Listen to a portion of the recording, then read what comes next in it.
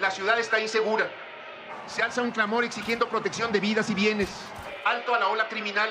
Amigos de la Ciudad de México, Los excesos, abusos y delitos de la autoridad y sus representantes, lejos de desalentar la criminalidad, son su caldo de cultivo.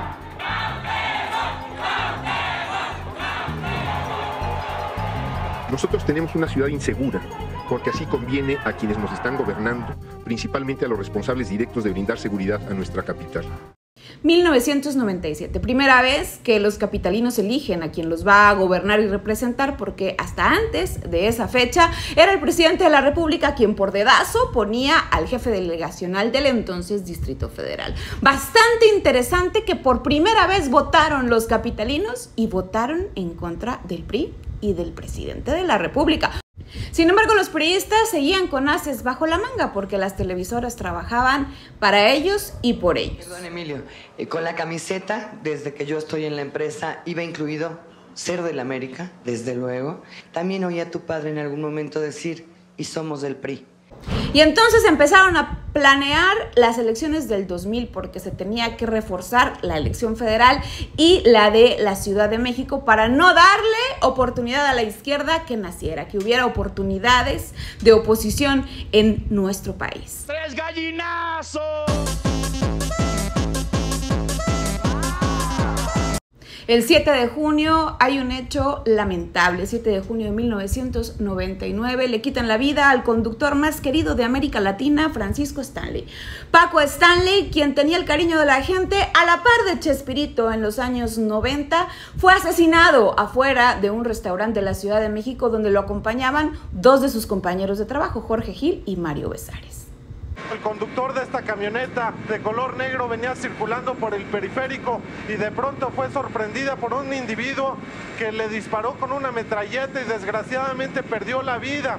Y ahí empieza todo un show mediático que inteligentemente iban a aprovechar de manera electoral. Sí, aquí en este canal siempre te digo que veas las cosas más allá.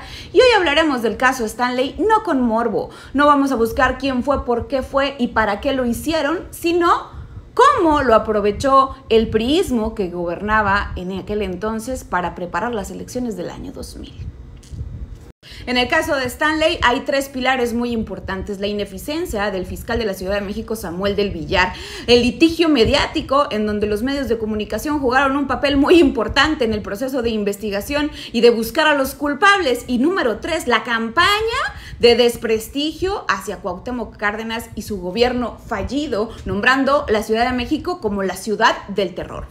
Es entonces donde el PRI empieza a buscar qué hacer para que el tema de Paco Stanley, resonado de manera internacional, les durara desde junio del 99 hasta julio del 2000, cuando se jugarían la elección presidencial y la de la capital del país. Y así crearon una novela, una novela donde culparon al mejor amigo, a la modelo güerita y a un ciudadano que andaba por ahí y crearon un buen show.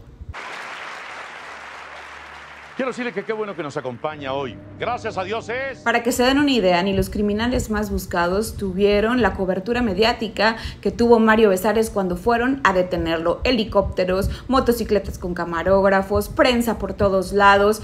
Eso era el tema que les daría al priismo, a Televisa y a TV Azteca la capacidad de manipular a las personas y seguir haciendo un golpeteo político sin importar que estaban acabando con la carrera y la vida de Mario Besares. El año 2000 llegan las elecciones, gana Vicente Fox, el PRI se vuelve desquiciado y en la Ciudad de México llega Andrés Manuel López Obrador con la insignia de hacer justicia y escuchar al pueblo. Llega en diciembre del 2000 y en enero del 2001 resultan inocentes Paola, El Cholo y Mario Besares pues había este cambio de gobierno y la esperanza de que fuera mucho mejor. Mario Rodríguez Besares o Mario Besares o Mayito por los delitos de diversos de homicidio calificado 2, diversos de homicidio calificado en grado de tentativa 3 y lesiones calificadas por los cuales desactuó la representación social por insuficiencia probatorio, se ordena su inmediata y absoluta libertad. Hoy te quiero invitar a que reflexionemos porque muchos de nosotros nos fuimos con esa novela que las televisoras nos vendieron, juzgamos y crucificamos a tres personajes que solamente fueron comodines políticos preelectorales.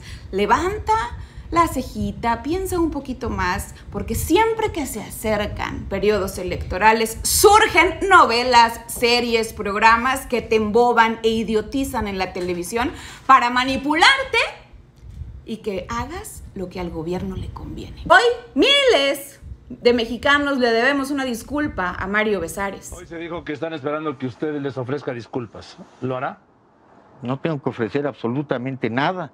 Paco Stanley sin duda fue una figura bastante querida en nuestro país, pero también ligada directamente al prismo. Fue candidato a diputado local por el Distrito 1 de la Ciudad de México, portaba una identificación como parte de la Secretaría de Gobernación a cargo de aquel, en aquel entonces de Murillo Karam, lo que le permitía portar armas, muchas irregularidades, muchos cabos sueltos que nadie vamos a saber pero lo más importante es que nada nos da derecho a juzgar a una persona y encasillarlo de una manera tan cruel como se hizo con Mario Besares y Paola Dorantes. Hoy la vida les da otra oportunidad. Hoy la justicia social está brotando porque vivimos en un México de libertades, un México de libertad de creencia, de libertad de elección, de libertad de expresión, de libertad de investigación. Y te invito a ti que no te dejes engañar por una televisión y siempre conozcas a las personas más allá. Nos dejemos de caer en la manipulación política que hemos vivido desde siempre en este país.